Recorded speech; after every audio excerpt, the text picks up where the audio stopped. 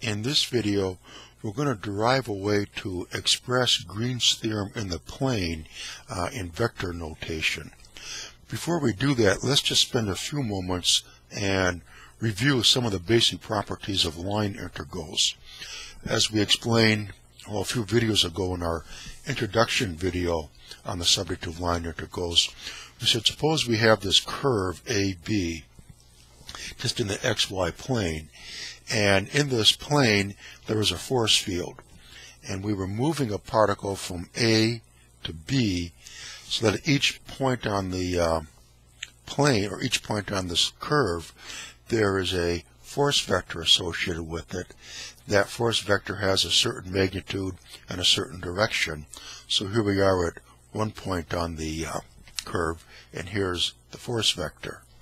And this can be resolved into normal component and a tangential component. So imagine taking the magnitude of the tangential component of the force and multiplying it by the differential line segment ds that it is parallel to or tangent to. And that's what we mean by this. Then imagine that we did that for each point along the curve here. Take the tangential component of the force at that differential line segment ds, multiply it by ds, and then add all of them up from A to B. And that's what a line integral is all about.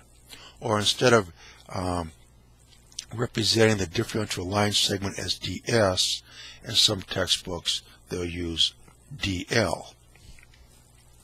And then there's another way that we can express it. Here's our curve. And here we have position vectors going from the origin to a particular point on the curve. Here is position vector r1, here is position vector r2, and pretend that these are very close together so that going from r1 to r2 is a differential displacement in the position vector, dr. So if at this point right here, there's a force vector associated with it, well, dr, the differential displacement in the position vector, that also is tangent to the curve at that particular point. So another way of expressing the line integral would be the magnitude of the tangential component of the force times dr. And the way that we obtain this is by taking the dot product of f dot dr, like this. And then, considering the line integral written in this form, it actually gives us yet another general way that we can express the line integral. Suppose that, again, we're just in the two-dimensional plane, and we have, say, a force vector F,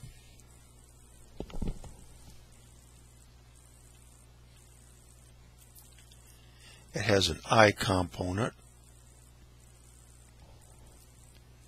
and a J component. And each of these P and Q, as you saw in our previous videos, each of these can be a function of x and y, the p and the q.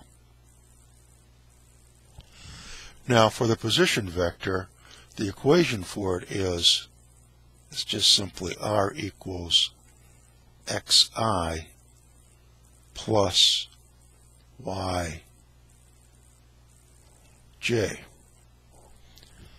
If we were in three dimensions, we'd have plus zk. Now dr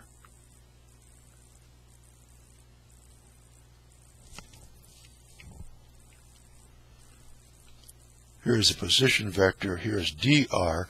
That would just have the expression dxi plus dyj. Now we say that the line integral can be written as f dot dr. So we have the integral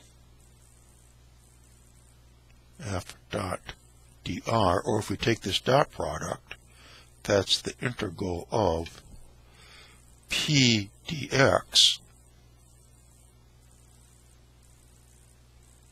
plus q dy. Now remember, Green's theorem in the plane was written like this. We are taking a line integral around a closed curve. So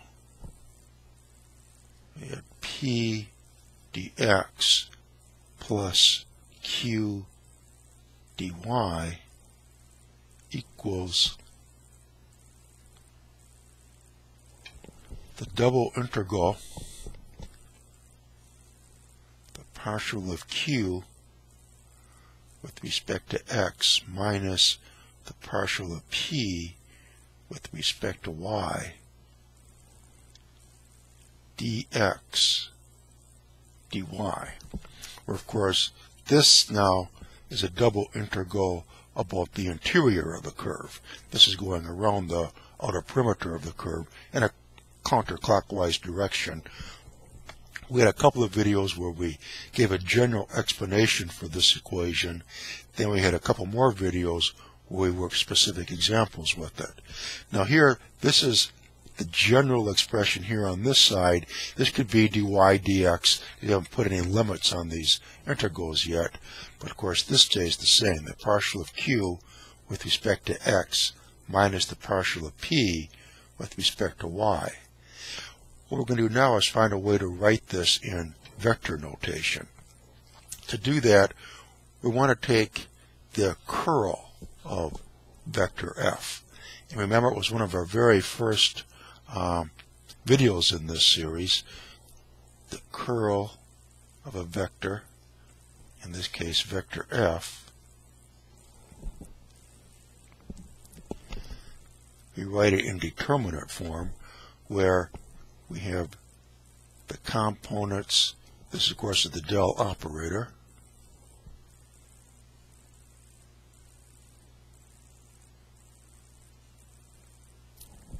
then the very top row are the unit vectors i, j, k.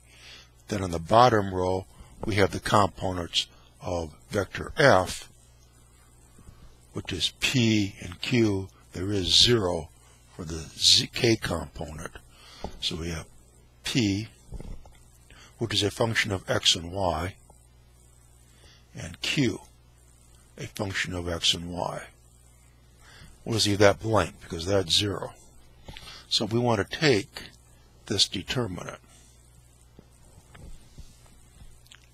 So the i component, we cover up the first column and the first row,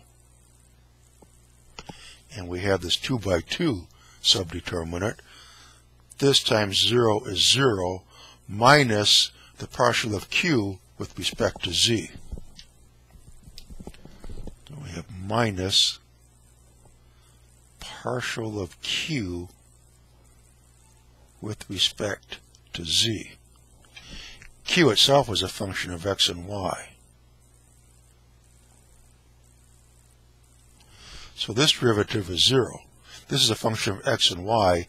You can't take its derivative with respect to z. There is no z here. So that's 0. Then we have minus the jth component. And to obtain that, cover up the first row, cover up the middle column. We have this 2 by 2 subdeterminant here, here, the partial with respect to z, and 0. So here we have this times 0, which is 0, minus the partial of p with respect to z. So we had 0 minus the partial of p with respect to z. And that is the jth component of the curl. But again, this is only a function of x and y. Take the partial with respect to z. This is 0. So our curl for the vector f has no i or j component. Let's see about the k component. So cover up this column, cover up the first row, and we are going to have partial of q with respect to x minus the partial of p with respect to y for our subdeterminant here. And of course, p and q are both functions of x and y, so we'll get a non-zero expression. So we have plus partial of q with respect to x minus the partial of p with respect to y times the unit vector k. 0, 0, this equals the curl of f.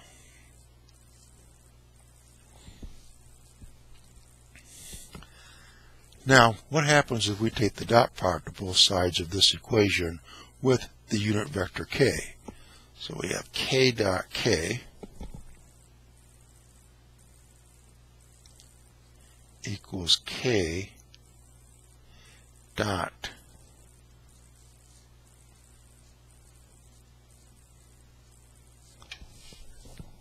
This is the unit vector k dot the curl. Of course, k dot k is just 1.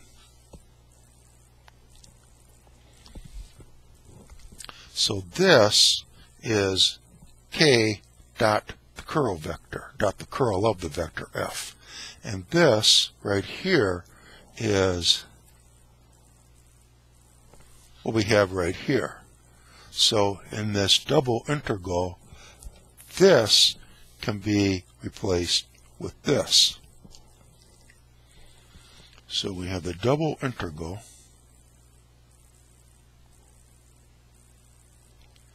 the curl of f dot k and then we have dx dy. Let's make this a little bigger. And this is equal to the closed line integral. And we had P and Q, but this is also the same thing as F dot dr.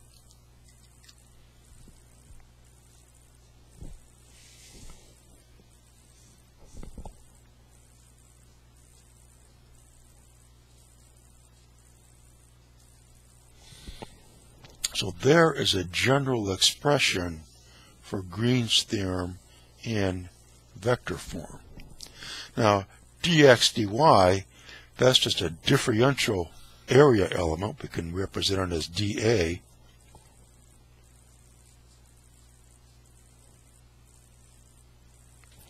And notice we have dA times the unit vector k. Of course, we're taking a dot product here. But when we're using Green's theorem in the plane,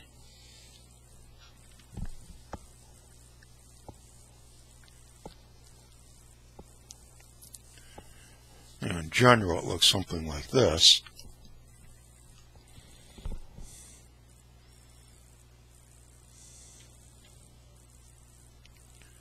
x-axis, y-axis, then we have some sort of closed curve here and we're taking the line integral above that closed curve in a counterclockwise direction.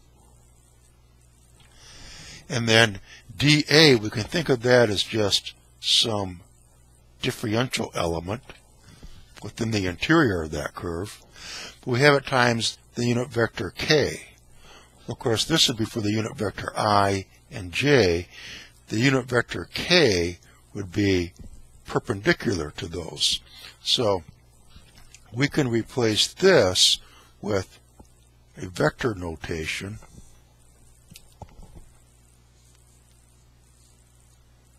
dA, meaning we have a differential area here and then pointing out like this, perpendicular to the IJ plane. So this is quite often how we see Green's theorem expressed in vector notation. Now what we're going to do in the next video is we have yet another way that we can express uh, Green's theorem, again in vector notation. And we're kind of taking our time to lay the groundwork out with this because what we do in this video and what we do in the next video is really laying the foundation for understanding the divergence theorem and Stokes theorem. So we'll get into those. Uh, but in the next um, video, we again are going to look at Green's theorem in the plane and find yet another way of writing it uh, in, in vector notation. And the, uh, the playlist for these um, vector analysis videos is featured at the website digital-university.org.